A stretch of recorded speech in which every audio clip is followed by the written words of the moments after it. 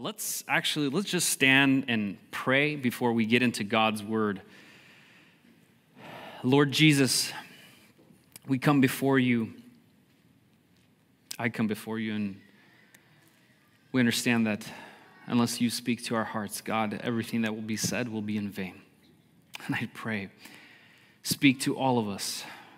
Let your word shine light into our hearts, God. May we see you for who you are and that we catch another glimpse of you and love you more as a result of all of this that we read and study in your word today. In Jesus' name we pray. Amen. Stay standing. Let's read the passage for today. It's from Philippians chapter 4, beginning with the second half of verse 5, and we're going to read up to verse 7. The Lord is at hand. Do not be anxious about anything but in everything, by prayer and supplication, with thanksgiving, let your requests be made known to God. And the peace of God, which surpasses all understanding, will guard your hearts and your minds in Christ Jesus. Amen. This is the word of the Lord. You may be seated.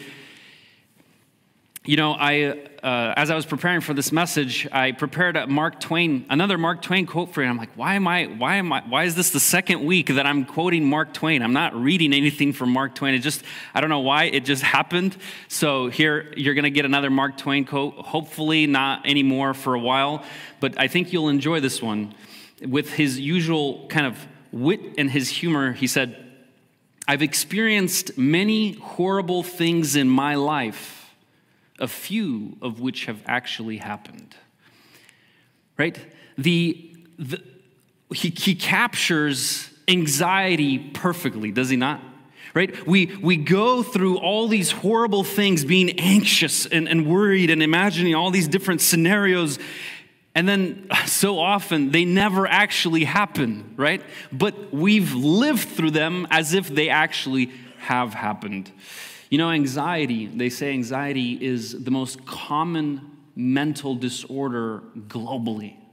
I think all of us, right, have experienced anxiety you know, from one degree to another, whether it's financial or it's health related, or you're worried about your kids, or you're worried about getting married and your family life, your career, your future, or tomorrow's big test, right? Whatever it is, we've all experienced worry and anxiety.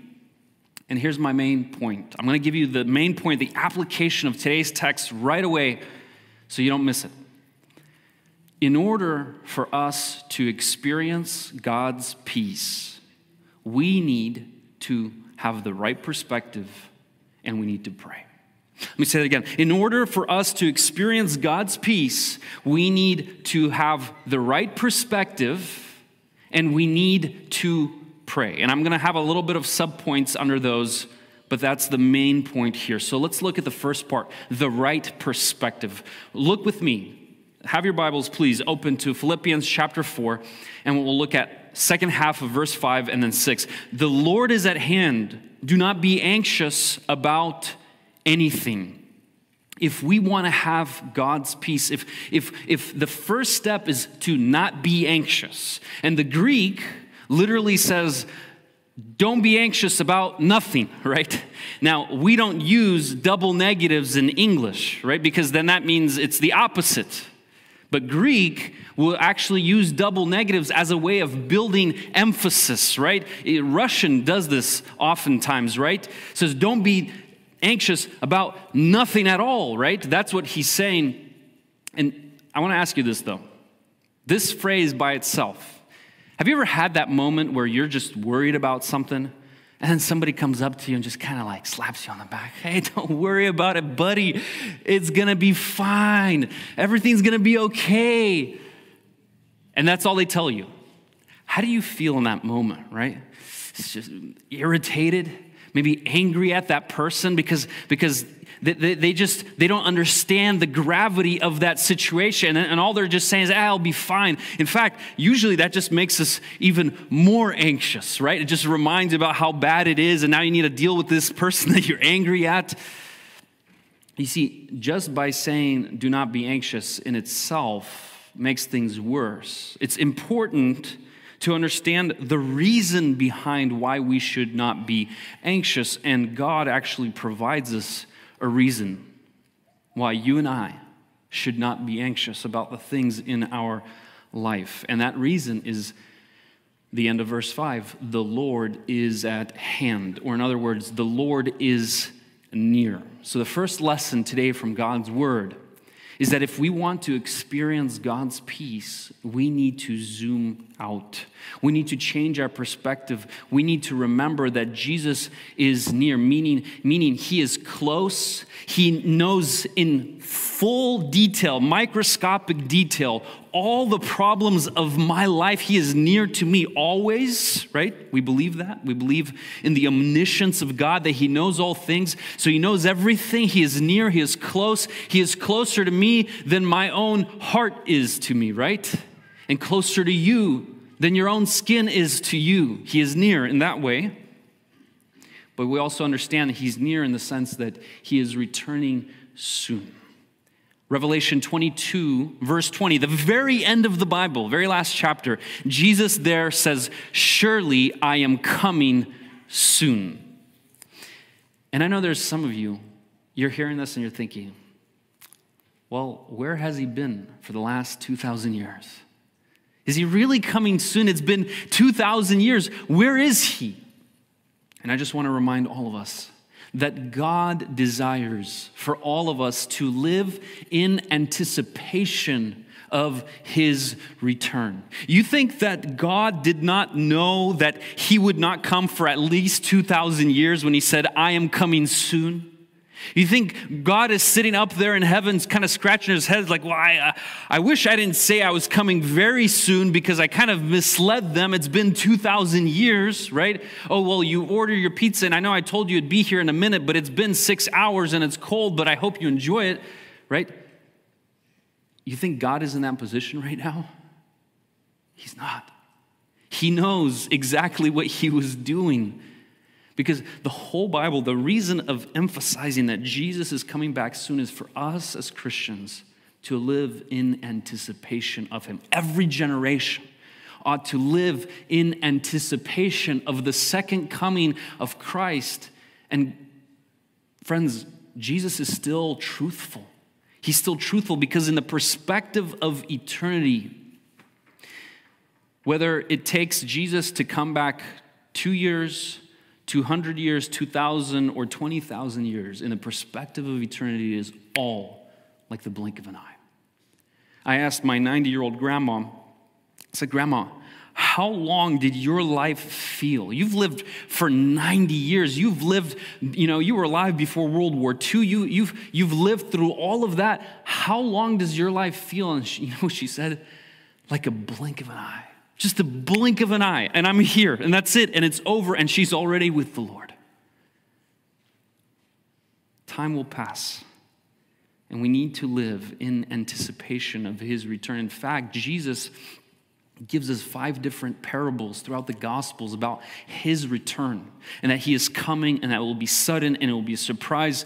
Jesus desires for all of us. If you call yourself a Christian today, Jesus wants us to live to, to, to hope for his return, to expect it, to desire it, to seek it. And you know what John, Apostle John's response was when we, he, he heard Jesus say at the very end of the Bible, Revelation 22 20, when Jesus said, Surely I am coming soon. You know what his response was? Amen. Come, Lord Jesus. And that ought to be the cry of all of our hearts when we remember that He is coming soon, we say, Amen, come, Lord Jesus, come. Friends, Jesus will come soon. I'm here to assure you that from God's word. These are not my words, these are the words of God.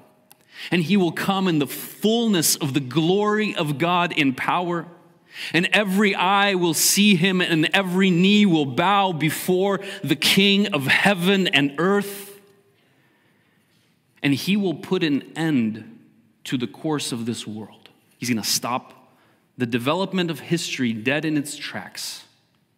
And then all of us, every single soul that has ever existed, will realize and see that he always was and is and will be the center of all things. And every knee will bow and every tongue will confess that Jesus Christ is Lord.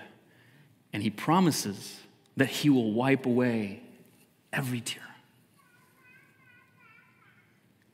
He will right every single wrong.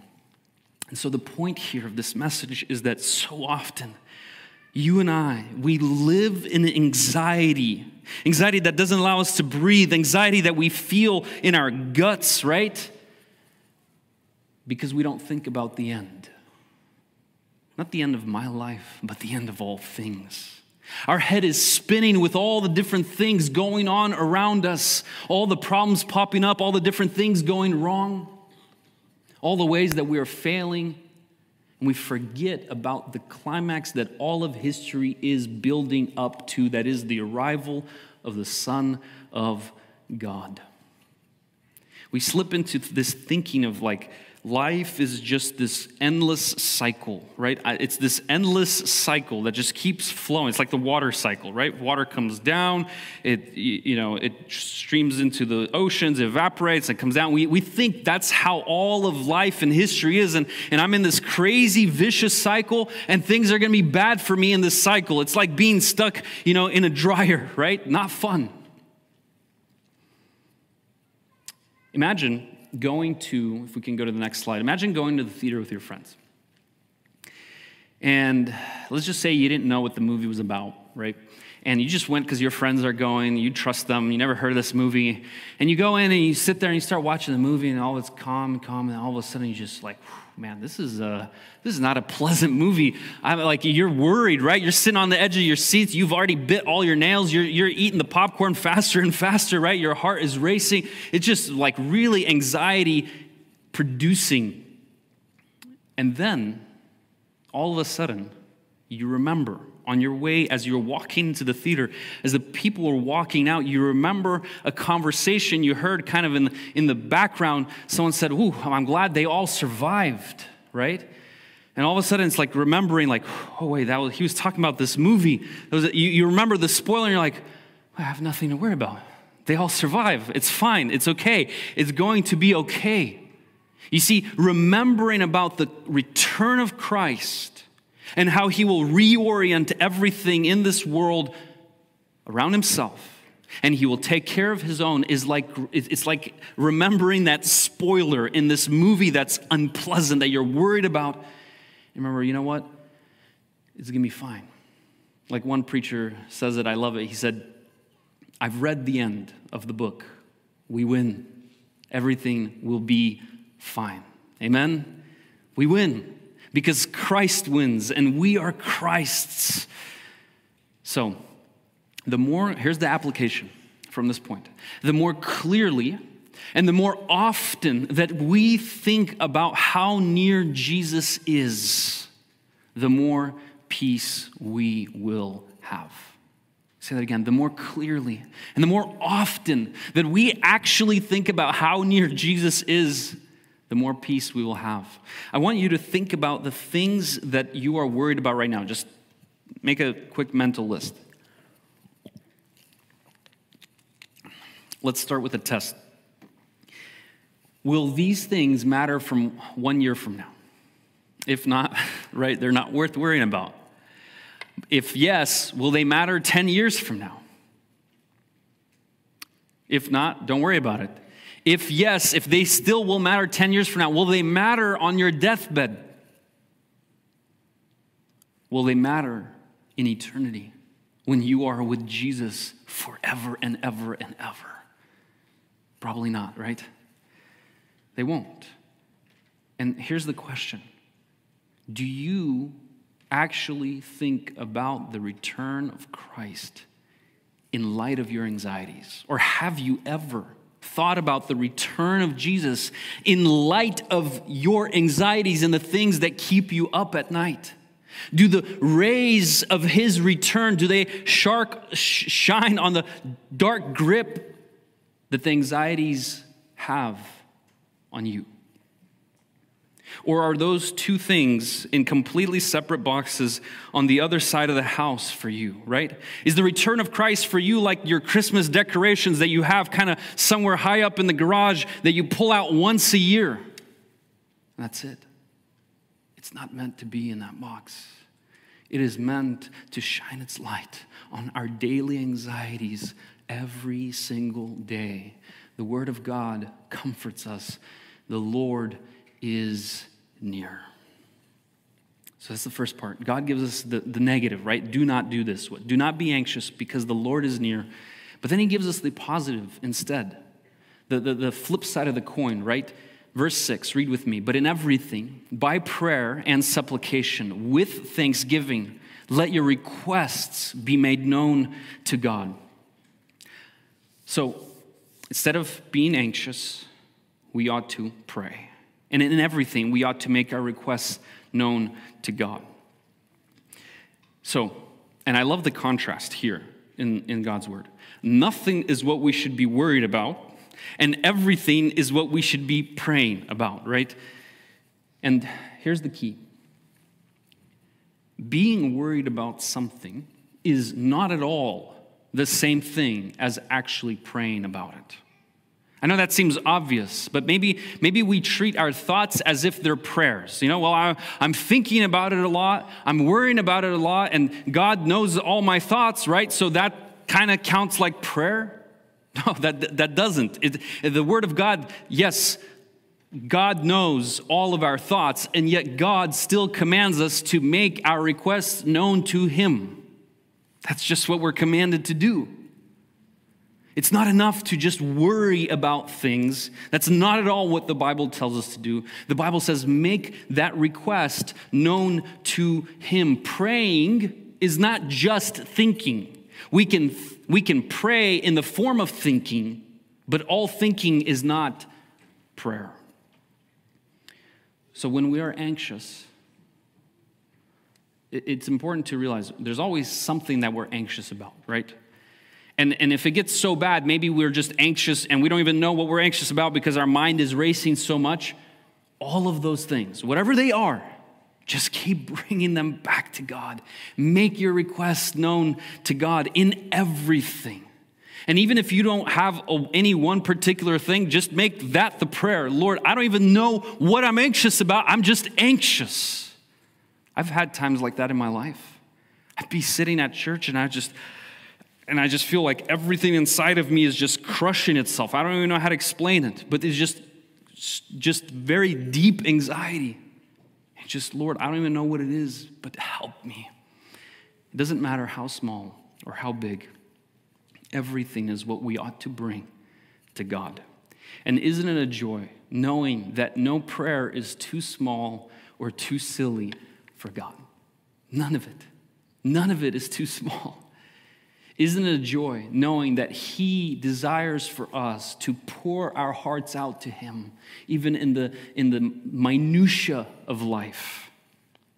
So, anytime you're worried, turn that worry into a prayer. And even if you end up praying about the same exact thing 137 times a day, even better. Even better. God delights in that. So we're, we're told to make everything known to him through prayer and supplication. But then there's also this very important point. It says, with thanksgiving, verse 6 says, with thanksgiving. And this is amazing because neurologists and psychologists are just now starting to confirm this with studies, but they're finding that when we are thankful, we are less anxious. That's just how we operate, right? I mean, you know, one guy was saying your brain cannot easily focus on both positive and negative stimuli. There's multiple studies that have shown that gratitude reduces anxiety. And it's amazing because the science is confirming what God already gave to his people almost 2,000 years ago. Be thankful to God. God knew the way He designed us, right? We are single hearted creatures in many ways, are we not? We can only worship one God. We can only be truly in love with one person, right? That's just how we work. We can only be at one place at one time. Our attention can truly be focused on one thing. I know we multitask, but it's not multitasking. Uh, we know it's just multi distracting, right? So he commands us instead of living in anxiety, let your heart be filled with gratitude, leaving no room for worry. And so as you pray, thank him. Thank him for the smallest of blessings. Thank him for every meal. Thank Him for every moment you don't feel sick, for every person in your life, for every moment of being alive, for knowing Him, for having peace with Him, with, for being His child, for being under His care, for having peace with Him, for knowing that you have a future with God forever and ever, and the millions of other blessings that He showers upon us every single day. Take a deep breath right now. Felt good, huh? My grandma, when she got the West Nile virus, she was paralyzed for five months. She couldn't breathe on her own. She needed a machine to force air into her lungs. Every breath, friends, is a gift from God. You can at least be thankful for that in your anxieties. And believe me, my grandma still had things to be thankful for as we spoke to her as she was on the vent. And you know, it's, it's, it's easy to be thankful when everything's going great, right? When the sun is shining down upon me, I just got a raise at work, right? I mean, it's easy to be thankful. But as soon as we stub our toe, right? All of that thankfulness just evaporates. And it's easy to make excuses to not be thankful when even a little bit of things are going wrong. But it's interesting because God's word is telling us that when we are most worried, when things are going wrong the most, that is when we need to give thanks the most. Notice God's word doesn't say, and after God has answered all your prayers and all the things you've been worried about have been dealt with, then respond with thankfulness. That's not what it says. It's not first this, then that. It's instead of this, do that right away, right? When things are hard, when you are worried, sick, when you're anxious, then pray. And in your prayers, give thanks. It's ironic. When we need it most, we do it least. Let me ask you this. Let's say, God forbid, you're driving home from church and you get into an accident and you lose your arm, right? The, your non, let's say, non dominant arm. I don't know about you, but I would have a hard time being thankful to God, right? I lost my arm. What if you lost both of your arms? What if you lost all of your limbs? Would thankfulness be a word that would describe us and who we are? I want us to go to the next slide. Nick Vujicic, he was born without any arms, without legs. That's who he is, his entire life. And he struggled, he, he describes his struggle with anxiety. I mean, just imagine the anxiety that you feel being there. You know, he, he was saying, I'm never going to get a job. I'm never going to have a family. I'm never going to have a wife. What kind, how, what kind of husband could I be if I can't even hold my wife's hand? He can do none of those things. There's no life purpose. There's nothing, right? Just imagine being in his situation. You can't walk, you can't drive, you can't type, you can't dress yourself, you can't feed yourself. And you really got to ask in that moment is life truly worth living? If there's one guy that has the right to make excuses, to not be thankful, it's Nick. And yet, when you watch his videos, you see a man who is more positive than all of us here, right? He's always telling the world about Jesus. He's traveling the world speaking to millions. He has a wife, he's got four kids. You think, like, talk about just, he's always talking about gratitude, he's always talking about thankfulness to God. Just look at the things that he says. He says, There were times when I sort of looked at my life and kept thinking, well, I can't do this and I, I can't do that. And he says, if you keep on concentrating on the things you wish you had or the things you wish you didn't have, you end up forgetting what you do have. You see, in Nick, we see a man who is not weighed down with anxieties we see a man who is trusting in God.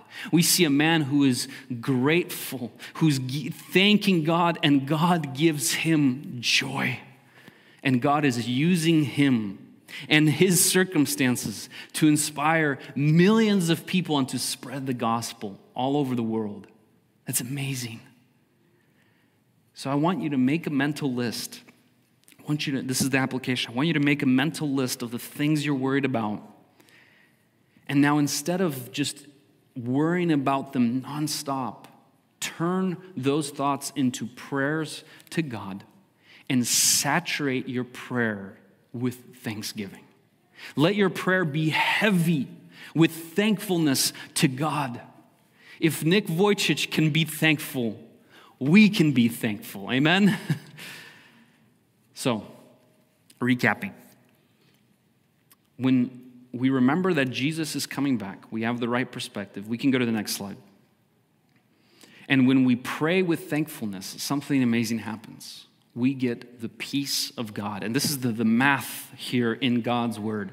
Perspective plus prayer equals peace. And let's read with me with verse 7.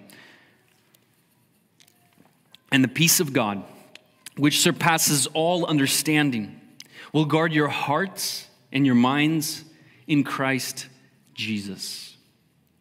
God promises to send us his peace, one that is beyond our understanding one that, that we cannot even fully grasp. It's, and, and this is not just some kind of psychological tricks and tips, right? Like take a breath and then another breath and hold for 10 seconds and then exhale through your mouth. That's not what this is talking about.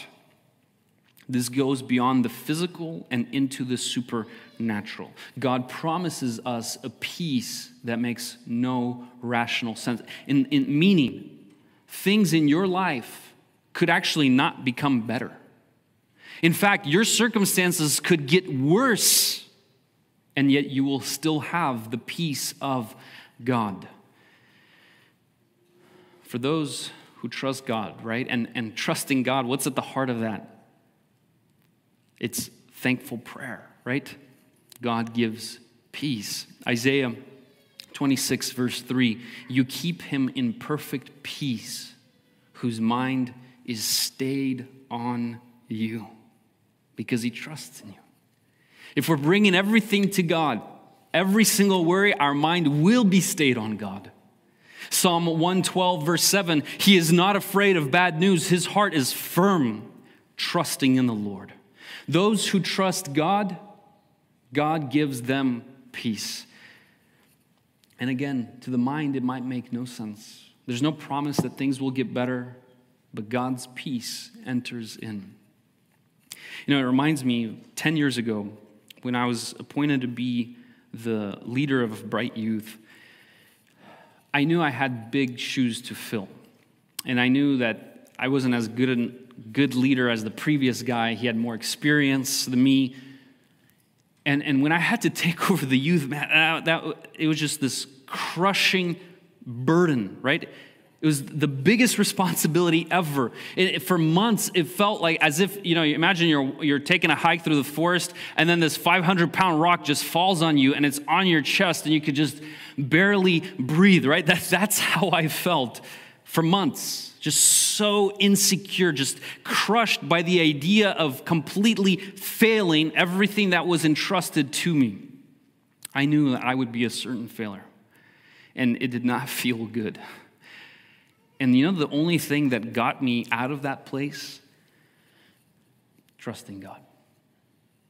only after spending weeks of prayer, 5 a.m., just waking up and just pacing around in my living room, just crying out to God, saying, Lord, help me. After I surrendered all of it to Him, it was only after I told Him, Lord, if you want me to be a failure, then help me fail being as faithful as possible to you. If that's what you want from me, if that's my purpose in your kingdom, is to fail to sink this ship, help me be as faithful as possible to you in all that I do. Only after I had trusted God with my own insecurity, my own self image, my own future, only when I remembered about the eternity where the only thing that will matter between me and God for all of eternity is whether I was faithful to Him, right? Only when I had that right perspective did that rock lift, and I was able to finally take a deep breath and breathe and live. And the peace of God came upon me. And you know what? It was that peace of God that surpasses all understanding because there was nothing in my physical world that changed. I didn't have a vision at night that I, you know, I was going to do a great job and all this success. I didn't have any of that, right? I was, I was certain of failure as ever. I didn't wake up in the morning and, and develop all these leadership skills overnight that said, oh, you're going to you're going to do well. No, none of that. I just said, God, I want to be faithful, even if that means being a failure. And God gave me this peace. And I love what it says. It says, will guard your hearts and your minds. So your heart and your mind. So meaning the, the peace of God guards our whole inner person. Not just a part of us, but our whole inner person. And this word guard. I love this word guard. Isn't it amazing how wise God's word is? Think about this anxiety. Why are we anxious? Why, why do we become anxious? I think it's because it's when we think about the future and we think that something bad is going to happen in the future. And then it's not just that, right? It's also thinking that, okay, well, if I think about it enough, if I think of it from through, through all the different ways where, where I rewind this scenario and I think about it in all the different ways, I can prepare and I can somehow protect myself from this bad thing that I'm afraid of happening, right? That's what anxiety is. And we start to obsess about this bad thing and, and, we, and we think we're protecting ourselves. We think we're guarding ourselves by anticipating this bad thing happening. But in reality, the cure becomes worse than the disease, right? We actually begin to hurt our own selves with our own protection. Isn't that silly? We destroy our own selves with the things that ought to help us. And God's word says, no, no, my peace will guard you. Not your own thoughts, not your own plans, not your own devices. My peace will guard you, and it will guard all of you. I will protect you from your own quote unquote protection. That's how needy we are. We need to be protected from our own protection. And when we pray, instead of obsessing nonstop, when we remember that Jesus is coming soon, that he will make all things right, when we give thanks to God as we worry about things, we will have a peace that makes no sense, a peace that cannot be explained by this world, a peace from God Himself. As I call the band up, I want to finish with one last very crucial part of this verse. Notice at the very end of verse 7, it says, Will guard your hearts and your minds in Christ Jesus. Now, it's easy to kind of skip over that because we think, well, it's the Bible. Like they kind of had to use the word Jesus at least every couple of sentences, right? And just it feels like it's just being sprinkled in. Not at all. That's not what's going on here. The peace that protects us is in Christ Jesus. We can't miss this very critical part. And that's the whole point of the gospel, friends. The reason that Jesus came into this world is to pay for my sins, to pay for your sins, right? That's why he came to forgive us. Romans 5:1 says, "Therefore, since we have been justified by faith, we have peace with God." Through our Lord Jesus Christ. This peace with God is found only through Jesus Christ. And this is literally the best news that anyone could ever tell you.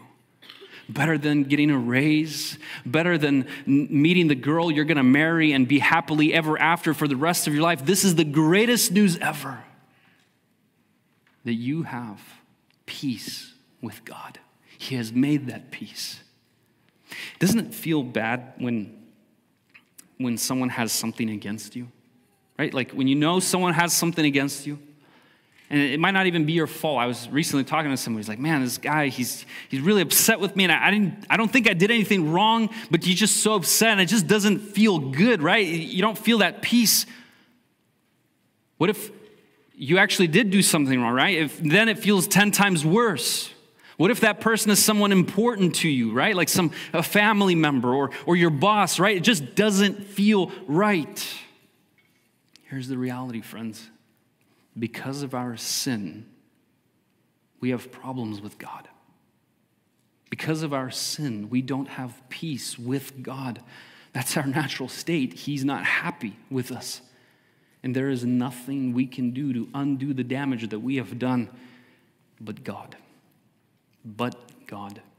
Not wanting to destroy us, not wanting us to perish sent his only beloved Son into this world to take on all of the punishment, to justify us by faith, and now we have peace with God. Friends, in Christ, God has solved our greatest problem. My eternity is secure with God, and I know where I'm going to be when this body dies. And I'm going to be there for a really, really long time, and it's going to be a really, really good time. I have that. And in comparison to everything else, I don't have problems. I don't have problems. None of us have problems. But if you haven't trusted in Christ, you also don't have problems in comparison to this problem. This is the greatest problem having to stand and face the wrath of God all on your own. We can't do it. Christ is the only way.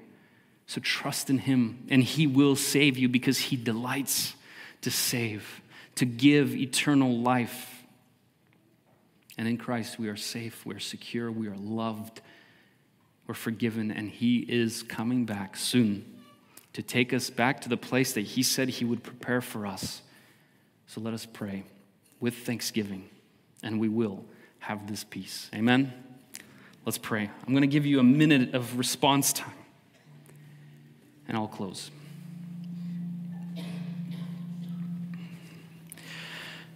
Lord Jesus, we thank you with hearts full of joy, God, that you have saved us, and we thank you. I pray that we would just love you, wait your return Remember that you are near. Thank you and pray to you in all things, God. You're so gracious. Thank you for revealing the end to us, that we win with you, Jesus, and everything's going to be okay. We thank you. We worship you. We pray this all in your name. Jesus Christ, the Son of God, the Alpha and Omega. Amen.